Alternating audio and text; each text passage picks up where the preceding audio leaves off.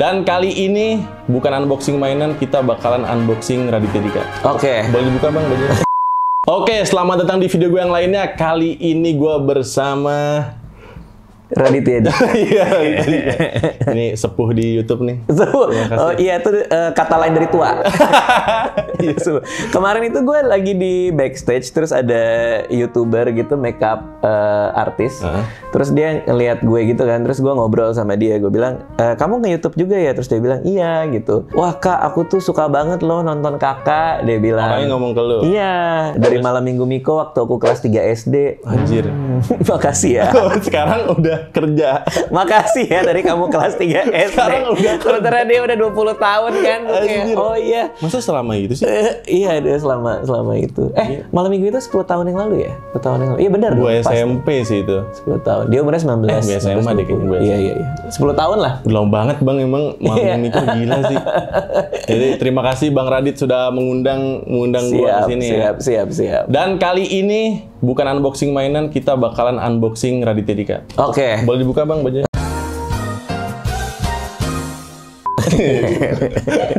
Nggak, jadi kita unboxing isi kepalanya Bang Radit nih. Gua tuh salah satu pendengar tuh kalau lu ngomongin soal keuangan. Oh gitu? Iya. Yang di YouTube, yang di Yang di YouTube dari Spotify. tahun 2018 gue ingetnya. Oke. Kenapa lo tertarik? Karena waktu itu gua gua waktu itu sempat ikutan Abang None, terus gua dapat uh, uang kan, terus gue bingung nih uang mau ke mana gitu. Oke. Terus salah satu konten yang gue tonton konten lu juga waktu itu. Oh, karena lo lo bingung uangnya mau diapain? Karena gue bingung uangnya mau diapain. Tapi lo keren juga ya, maksudnya lo dapat duit dan lo langsung mikir ini gue harus cari cara yang bener nih buat buat disimpan atau diapainnya gitu kan? Iya, karena nggak pernah waktu itu nggak pernah megang segitu gitu. Karena kan biasanya orang kalau dapat uang uang banyak malah nafsunya dia dipakai, tapi lo enggak ya? Kebetulan gue emang anak rumahan juga, jadi kayak Wah, keren. bingung juga gue mau ke mana gitu. Iya, iya. Bahkan gue juga ini bang, gue nyiapin dana buat yang lain-lain, dana Serius? darurat Dana darurat udah terkumpul? sudah terkumpul. Oke, Eh, apa? Sekarang lagi pensiun, dana nikah atau Pensiun, dana nikah, sampai dana pendidikan. pendidikan anak? Pendidikan anak. Ih keren Gila banget. Ini lo Gila persis ya? banget kayak gue. Karena gue nonton Persis lu, banget. karena gue nonton lu dan menurut gue semua penjelasannya masuk akal. Nah kali ini gue pengen denger penjelasan Bang Radit seputar koleksi. Karena Koleksi. yang nonton gue kebetulan ada kolektor mainan juga. Oh iya, kan banyak. Hmm. Review mainan juga kan. Jadi ini adalah tips-tips buat para kolektor. Ini adalah lima per ini kayak channel ya, lima pertanyaan sulit. Gak apa-apa, lima pertanyaan. Dan ini adalah lima pertanyaan soal koleksi. Hmm. Yang pertama, buat Bang Radit, apa sih yang menyenangkan dari koleksi sesuatu, Bang? Lu kan koleksi jam banyak Iya, banget. Nah, iya. menurut tuh benefitnya apa? Karena banyak yang nanya sama gue kayak, Bang lu kan udah gede, lu ngapain sih koleksi, Koleksi mainan? mainan, iya kan? Kalau Nah, Bang Radit gimana? hidup itu kan singkat ya. Hidup itu singkat. itu yang pertama. Ini omongan orang tua banget nih. Iya nih anjir. Udah- udah langsung tua sementara, gitu. sementara yang nonton Iya. masih 3 SD. Iya, langsung tua gitu hidup ini singkat. nah, depannya aja gitu. Jadi kan kita memanfaatkan waktu sebaik-baiknya untuk eh, happy kan, ya kan. Tapi kan ada ada keseimbangan antara gimana kita mikirin kita di masa depan sama apa kebahagiaan kita sekarang. Nah, salah satunya yang bikin kita happy adalah hobi kan. Hobi bener banget. Apalagi anak rumahan. Apalagi anak Itu iya dong. Bang. Kalau udah di rumah nggak punya hobi, bingung loh. Iya makanya. Nah hobi gue tuh dua sebenarnya. Yang satu itu eh, main game, Main game, main game PC ya. main game PC, Yang satu eh, satu lagi adalah koleksi jam. koleksi jam. Kenapa? Karena jam tangan itu gue bisa lihat sejarahnya. Terus eh, dia kan manual ya, jadi kan ada ada ada sistem di belakangnya. Yang nggak perlu pakai baterai. nggak perlu pakai baterai kan. Jadi gimana mereka bisa eh, membuat sebuah apa ya, sebuah benda eh, yang bisa secara waktu tuh presisi, tapi nggak ada komputer di dalamnya. Jadi kayak hidup sama lu nggak sih jamnya? iya. Karena itu bergerak ini kan sesuai gerakan kita juga. Jadi kalau kita bergerak, bisa bisa. Apalagi kalau jam yang manual winding yang harus tiap hari di crack crack Hmm, itu crack dia. crack dia jadi kayak punya koneksi sama jamnya. Gua pelajarin lah tuh sejarah-sejarah jam. Gua sempet sebenarnya nih yang- banyak orang nggak tahu, gue sempat bisnis jual beli jam juga. oh sempet Iya, gue ternyata. sama partneran sama eh, ada ada orang gitu jual beli. Cuma ketika sekarang kan harganya udah tinggi banget ya. Tinggi banget Buat ngebodalinnya juga juga berat ya. gue tuh sempet ke toko jam ya di salah satu mall di Indonesia gue Hmm. nanya doang ini berapa harganya segini mas keluar lagi gue gue gue Iya, gue iya. kaget banget denger harga-harga jam yang lu suka bahas juga sih. Iya iya iya kayak Rolex aja sekarang ya minimal 100 Low entry-nya 100 ya, low entry-nya udah. kan. Itu harga retail. Retail udah nggak dapat sekarang. Udah nggak dapet. Pasti minimal udah mungkin 200 jutaan. Iya iya emang emang segitu ya. Tapi kan kalau dari sisi ekonomi ya, kita bisa mikir bahwa ini jam akan gua pakai seumur hidup. Bener. Jadi cost per use-nya itu sampai nanti itu kita bisa bagi per berapa tahun kan. Iya sih. Hmm. Jadi seharinya tuh cuma berapa perak lah katakanlah gitu. Apalagi kalau lo wariskan, lo turunkan dan lain-lain. Nah tapi itu dari sisi soal duitnya. Tapi dari sisi kebahagiaannya, gue seneng aja yang punya ngulik sesuatu yang menurut gue tuh menarik gitu. Ada mekanik di belakang. Main kayak mainan-mainan ini kan. Kayak mainan-mainan Bi- gua. bisa gerak, bisa apa. Nah jam kan juga gitu kok. Mekanismenya bisa bikin jadi seperti itu.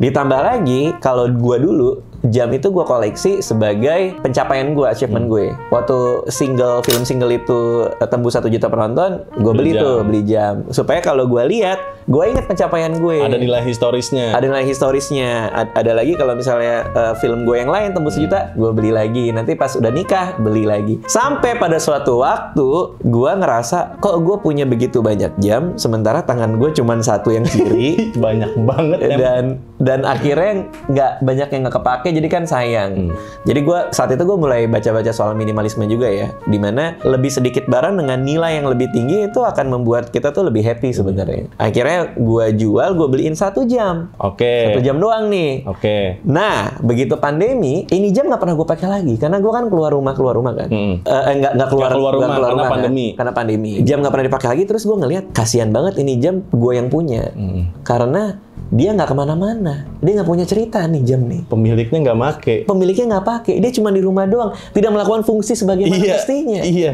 Akhirnya gue jual.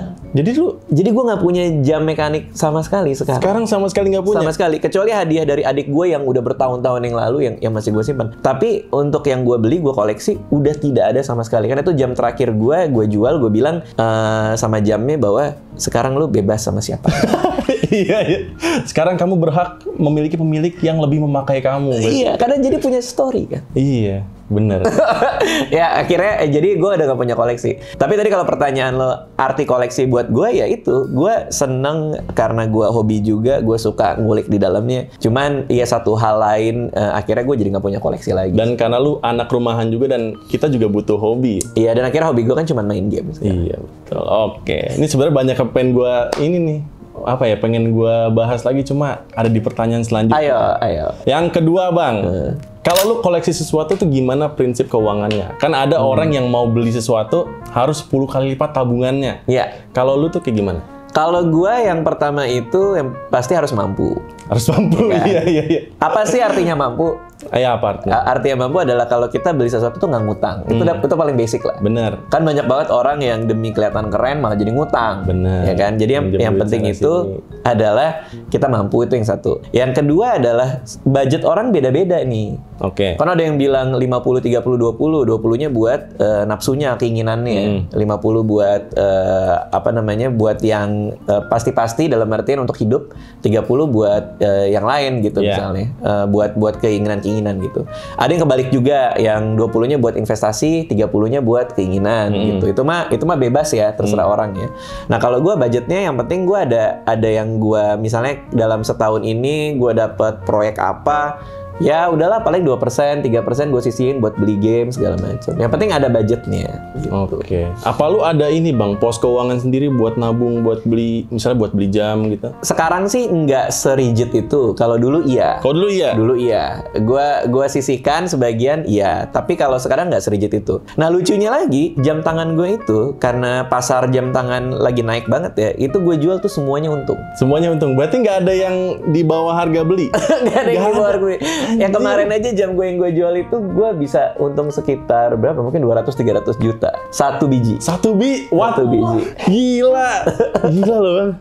Mainan nggak ada yang kayak gitu mainan. Jangan Iya. koleksi mainan dah udah. Tapi kan gue emang nggak mikir akan untung. Iya iya. gitu. Gue emang eh, suka. Kebetulan semua orang pada beli jam tangan pas pandemi itu gitu. Iya. sampai sekarang. Ya? Jadi demand tinggi. Justru kan orang pada di rumah bang. Kenapa orang pada? Teorinya banyak sih. Ada yang bilang kayak di luar tuh kan lagi ada quantitative easing ya. Jadi uang tuh banyak yang eh, keluar gitu, di- dibeliin aset-aset ya kayak gitu-gitu. Banyak lah teorinya. Cuman intinya adalah barang mewah tuh lagi tinggi. Gitu. Barang mewah lagi Padahal tinggi. situasi lagi gini ya. Lagi gini, Iya, barang gitu lah. mewah pada disita.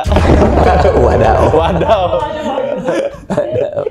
Oke, kita masuk ke pertanyaan selanjutnya. Ya. Ini nih kayaknya berhubungan sama minimalism yang lu sering bahas. Oke, oke. Kan koleksi biasanya nggak semuanya sering dipakai.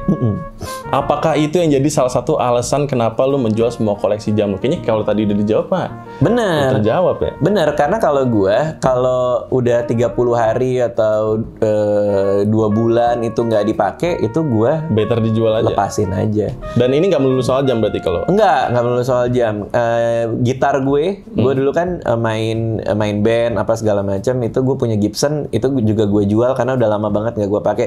Terus orang-orang bilang kalau kayak gitu kalau kangen gimana? Makanya semua barang yang gue jual itu gue foto dulu. Oh, jadi kalau kangen tinggal lihat fotonya Iya. aja. Biarin dia bahagia dengan. Tapi kan ada yang membela, Bang. Kan nggak bisa dipegang fisiknya Iya. kalau di foto. nggak apa-apa kalau misalnya eh, ada yang lebih suka megang ya nggak usah dijual.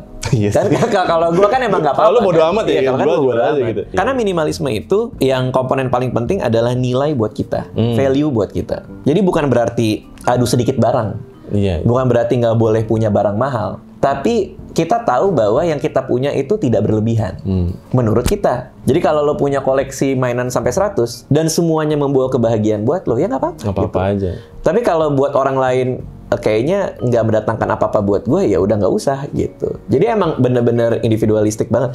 Eh, karena kan banyak yang bilang kalau minimalis seharusnya rumahnya segede garasi dong ya kan? Anjir. itu kan. ya nggak gitu juga ya kan kayaknya bukan ya. gitu kan. Maksud kan semuanya itu harus punya fungsi gitu.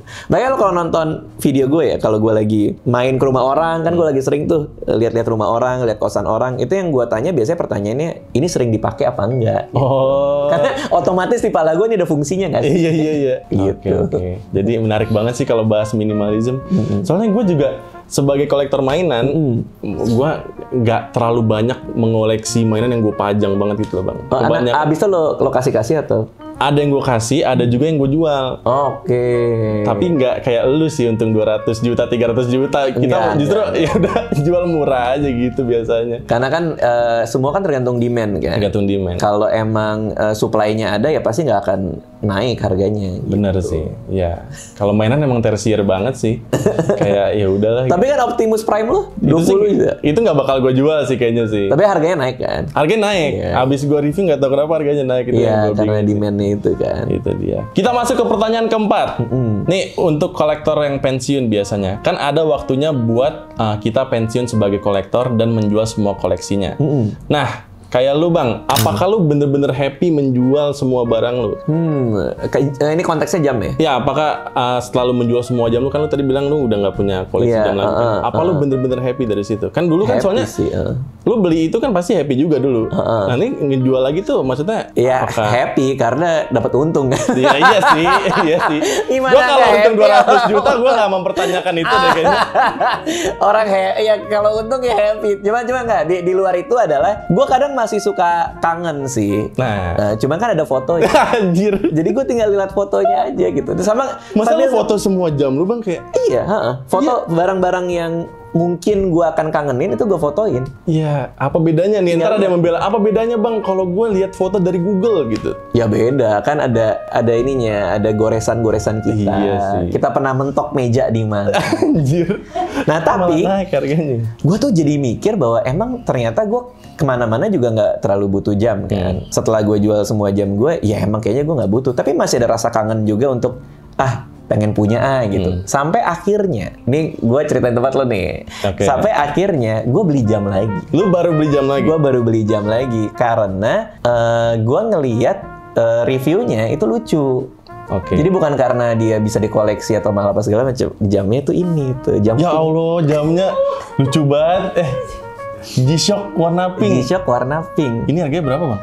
1,4 1, dia segituan lah 1 komaan Harganya 1,9, cuman gue beli di 1,9 apa Tokped nih? 1,9 juta. Oh juta, Rupiah. bang. Ya, gue kaget soalnya jam lu kan ratus-ratusan Ya, juta. Ini betul. 1,9 juta. Gue kira 1,9. Harga saya 1,9 juta. 1,9. Lo karena ngeliat Richard Mille ya? Iya, Richard Richard Mille itu kan dia karet tapi miliaran kan? Iya bener banget. Bener. Mungkin karena rumit kali ya kalau Richard Mille ya. Wah itu itu panjang sih ceritanya. Ada ada yang bilang karena emang dia scarcity-nya tinggi, maksudnya langka gitu. Eh, Rumah berjalan sih gue nyebutnya kalau. gue pernah bantuin jual Richard Mille punya temen gue itu laku di 1, eh, 1,4 1,5 1,4, ya kan? 1,5 M ya, bukan M, juta dong. ya.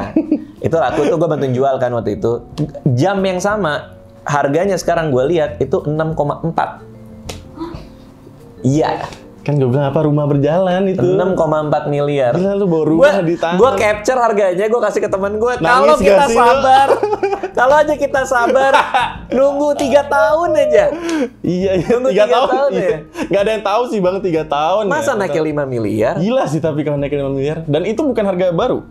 Itu enggak, itu harga retail. Eh, eh, eh, sorry, itu harga aftermarketnya. Anjir, itu Retailnya emang nggak segitu. retailnya berapa ya? Retailnya cuma di bawah satu eman. Nggak cuman sih, cuman ya, ya maksudnya harganya segitu. Gila loh, Richard 6 Mille, ya. M gila banget sih buat Dan sebuah jam. lucunya adalah yang punya jam ini, si Richard Mille ini, itu masih sibuk party aja, udah masih hidup orangnya. Sementara kan kalau Patek segala Udah kan itu kan, ya? iya yang dulu-dulunya itu watchmaker kan udah pada nggak ada diterusin sama keluarganya kan. Kenapa bisa kayak gitu bang? Ya scarcity-nya tadi orang merasa bahwa Masa enggak, gue bingung loh. Emang masa demandnya sebanyak itu? Ini bukan Hmm. Iya, barang oke. pokok gitu. Ya ininya juga sih, teknologinya juga sih. Teknologi. Karena kalau lihat eh, petenis-petenis tuh suka dikasih Richard Mille, dia bisa pakai kan main tenis dan itu nggak rusak iya, kan. Iya, iya, iya benar. Karena jam mekanik lain, lo gini-giniin, ya pasti Ya, chaos kan. Chaos. Tapi ini gue suka, gue suka banget. Eh, ini jamnya warna pink karena karena gue emang suka warna pink kalau gue. Hmm. Jadi gue beli aja jam yang pink karena eh, kemarin tuh lagi lewat di YouTube, gue beli. Nah, sekarang jadinya ini rebutan sama anak gue, Ale. Anjir. Karena gue pernah lagi ke pamit, Hmm. eh, pamit mau kerja, gue bilang, papa kerja dulu ya kak, gitu kan mau pergi. Terus Ale ngeliat jam gue, itu jam kakak, gitu.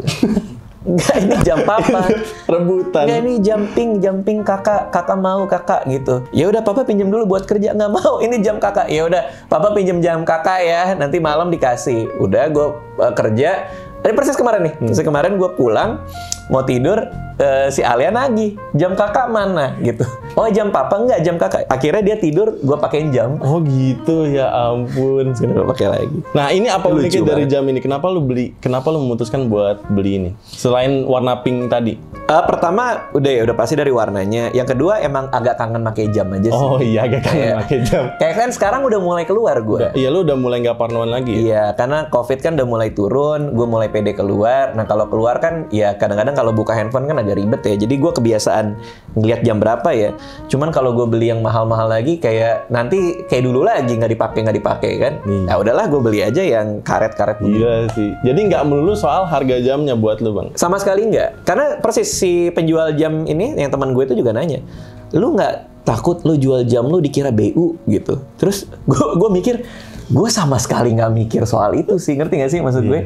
Gue nggak mikir orang ngelihat gue pakai jam apa, orang gue nggak mikir kalau gue jual jam nanti orang ngomonginnya apa, gue sama sekali nggak. Karena Emang gue suka aja. Semua orang punya preferensi jualnya masing-masing. Jual atau belinya masing-masing gitu, emang gitu aja. Kayak gitu. Gue kira lu bakal beli yang mahal lagi bang. Oh, enggak, tadi pas gue kasih lihat lu ini ya, kayak ini berapa nih gitu ya? Iya, ini 1,9 apaan nih? Biasanya ratusan juta. enggak. Jadi tuh Ini lucu-lucu banget. lucu sih. Sampai rebutan sama anaknya gimana nggak lucu? Nih pertanyaan terakhir buat Bang Raditya Dika. ya. Setuju nggak kalau koleksi sama dengan investasi? Nah ini menarik banget nih. Ah, tadi ini kan menarik nih. Beberapa ada yang lu ceritain dan harganya naik kan, bahkan sampai 6 m kayak tadi. Itu menurut lu bisa nggak sih sebuah barang koleksi itu jadi investasi? Oke, nah ini preferensi gue ya. Hmm. Nah, orang boleh beda-beda ya. Preferensi gue adalah gue tuh hanya mengkategorikan sesuatu investasi itu kalau apa yang gue taruh uang di tempatnya ini, di produknya ini, itu menghasilkan income lagi. Hmm. Contoh, misalnya kalau gue beli saham, Ya perusahaannya itu kan ngasilin income kan, maksudnya ada aliran uang uangnya kan. Eh, jadi itu investasi buat gue, karena aset yang gue beli itu ada aliran uangnya gitu. Oke. Lalu apalagi misalnya eh, reksadana gitu, misalnya kumpulan obligasi, ya itu kan jelas untuk eh, kita kasih su- kita beli surat utangnya ya dipakai buat dia untuk untuk bekerja dan lain-lain gitu. Nah kalau mainan, kalau jam, kalau buat gua, gua susah ngelihat ini aliran uangnya tuh Iya gimana gitu. Sehingga kalau gua lebih senengnya ngomongnya apa ya? Lebih kalau gua lebih ke spekulasi gue. Kayak misalnya gue beli berharap Hmm. kalau ini booming nih pasti naik gitu. Iya iya iya. Jadi gue misahinnya itu aja. Jadi gue nggak pernah bilang bahwa gue investasi jam, enggak. Kalau misalnya gue beli jam berharap naik, ya udah gue spekulasi aja lah gitu. Mungkin suatu saat naik. Tapi banyak juga teman-teman mungkin kayak lu beberapa kenal banyak korektor yang bilang bahwa ini gue beli mainan, apalagi kalau izin ke istri ya. ini gue beli mainan, beli sepeda karena investasi nih gitu. Iya, iya, ya terserah aja. Ini itu ini deh, buat ini aja, buat alibi aja kalau kayak gitu. ya maksudnya kalaupun ada orang yang beli jam buat investasi ya ter- ya itu juga Nggak salah juga, salah, juga. salah juga. karena mungkin buat dia investasi itu adalah selama dia harganya akan naik Hmm. dia pikir tuh ya udah ini investasi ya terserah aja nggak apa-apa orang kan boleh punya kategori beda-beda ya tapi kalau gue pribadi ketika gue bilang gue investasi Spekulasi. ini ada ininya nggak ya ada aliran income-nya nggak ya gitu Berarti kalau buat lu sebuah barang koleksi itu spekulasi aja karena kita nggak pernah tahu kapan dia naik, kapan dia turun gitu ya. Oke, justru kalau buat gua barang koleksi gua itu bukan investasi atau bukan spekulasi, tapi gue emang suka. Oh emang suka aja, udah se- Betul. se- sesederhana itu aja, berarti. Sesederhana itu. Kalau tiba-tiba eh, apa namanya harganya naik, ya udah syukur kayak kemarin. Kayak kemarin, kayak ya. kemarin.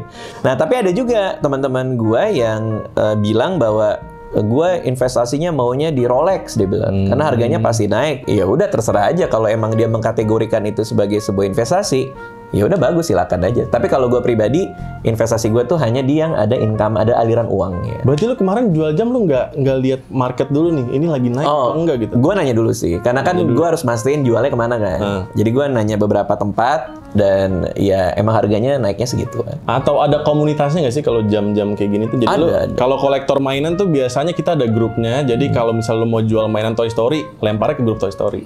Eh, nah kalau grup resminya sih gue nggak tahu ada apa enggak ya. Bukan resmi juga sih kalau yang Ya Toy Story itu, ya. itu enggak. Persatuan Toy Story seluruh Indonesia Persatuan gitu. Toy- PS. PTIS apa itu ya PTSI ya gitu enggak sih. Jadi emang sesama penggemar jam tuh eh, biasanya emang saling kenal aja gitu. Jadi ngejualnya pun enak karena udah ada tempatnya, udah ada ekosistemnya. Iya, apalagi teman gue juga banyak pedagang sih. Oke. Gitu. Ya udah paling gitu aja unboxing dan juga nggak review sih ya kita Ngobrol-ngobrol. ya, ngobrol-ngobrol soal perspektif menjadi kolektor dari Bang Raditya Dika. Siap. Terima kasih banyak Oke, Bang Radit. thank you ya. sudah- Makasih ya semua ya. Sukses channelnya juga. Terima kasih Bang Radit. Bye semuanya.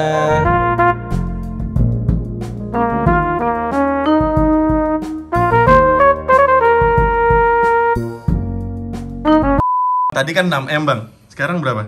Ya, itu kan tadi 6, 6M ya. Sekarang harganya 7,1.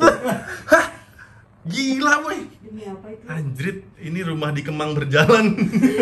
eh, gue nggak punya by the way. Oh, nggak Gue nggak punya. punya ya. Gue cuma ngasih Iya, iya, iya, iya.